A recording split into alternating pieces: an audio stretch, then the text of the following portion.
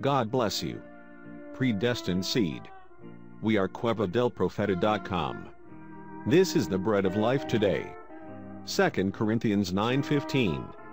Thanks be unto God for his unspeakable gift. Listen now, the voice of God's prophet for this day. When he was here upon the earth, he taken no name upon himself. The Bible said that he didn't. He made of himself no reputation. Many times I've thought this the man that made the false plate for teeth made a reputation in him, but the man who made the real teeth made of himself no reputation. The man that made an artificial leg made a reputation for himself, but the man who made the real leg made of himself no reputation.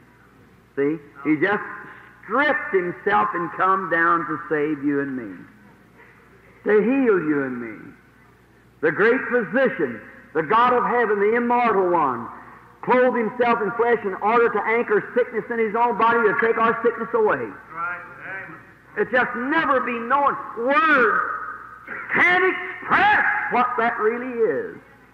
What God did for us in Christ Jesus. Jesus. Shalom. If this video was a blessing for your life, like, share and subscribe to our YouTube channel. God keep you dear brother and sister.